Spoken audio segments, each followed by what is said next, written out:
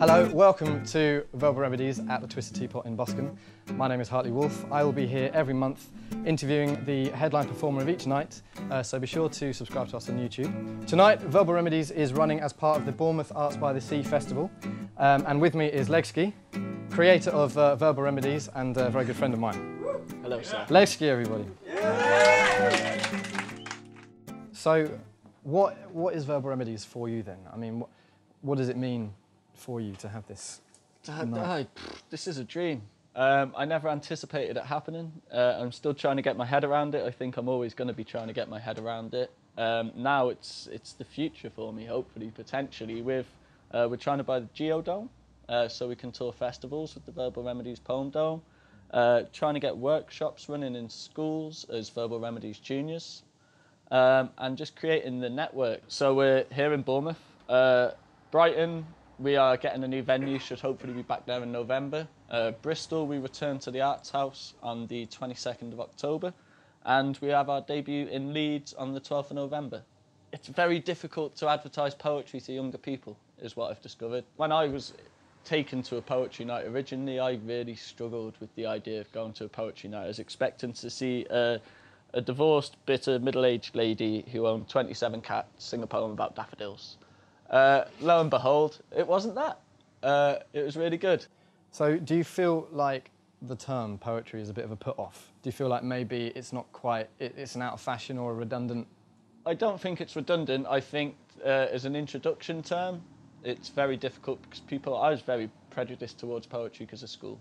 I had no passion or anything for it in school. Uh, but I had poetry as a singular thing. I didn't realise how vast a term it could really be.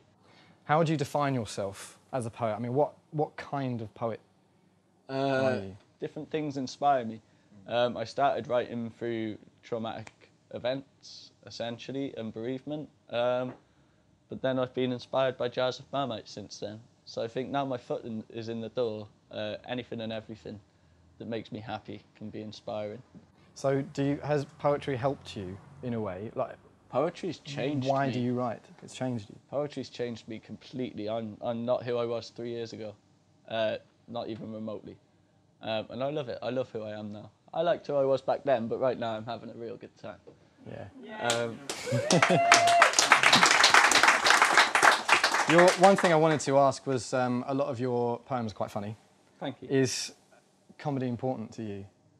To a degree, I've never set out to write a poem. I've always been inspired by something and got myself two or three lines, and then it's just grown around that. And I often don't know what I'm writing about until it's finished. Apart from like tea, hay fever, and marmite, which are a clear target for them. I try to be, in my mind, I'd like to be funny, energetic, chatty person outside of poetry. I think I try to convey myself on stage as much as I am really as a person.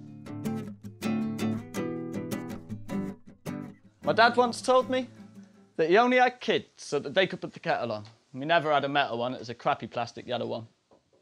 And as is the way with functioning kettles, once the water got hot, the bubbles were popped and spewed over the top. He used to drop quite a lot into the kitchen side, but as I filled up that mug, I got filled up with pride and so I'd slide across the line. Oh, it's a big part of my life, bro. The thought of tea just makes my mind blow, plus the light in the kettle emits a nice glow.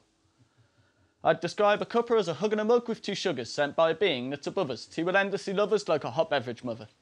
When my brain's annihilated after I've got inebriated, my palate becomes salivated by the drink that's naturally caffeinated. I go as far as saying as I'm infatuated by this highly rated, uncomplicated, somewhat sophisticated beverage, and I hope that that's been clearly demonstrated. Let's rewind a couple of lines. Said that tea was uncomplicated. But some of the teas I've tasted, I don't know how those people made it, but it's left me a little more than frustrated to the point where I've actually wasted the whole bloody thing. I mean, honestly, the methodology behind making tea properly is easier than putting your cock into a Johnny. My philosophy is two sugars followed by a tea bag.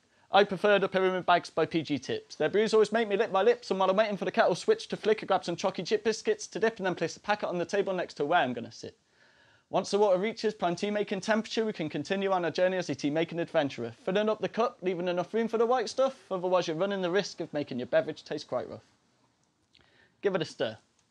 Give your tea bag a squeeze. And I truly believe you'll find your cup of tea tastes nothing short of sweet. Head into the lounge, kick back and relax. When it comes to the biscuits, why not munch the whole pack? I lack the discipline to contemplate any other thought than that, and my metabolism's ace, so it's not like I'll get fat. Sipping on the tea to acquire maximum refreshment. When it comes to tea's number one fan, I'm at the very least a contestant. But this moment is evanescent. My drink is disappearing. Peering down the cup, I can see more porcelain appearing, but in its taste I'm revering. My heart's commandeering. Nothing in the world's worth fearing when I'm sipping a cup of Darjeeling. And so I raise my mug. I raise my mug to the many blends, to the friends that I get to drink it with, and the comfort it brings me on life's twists and bends. And now I'm ending this poem by letting you all know I'm putting on the kettle as soon as I get home. Thank you.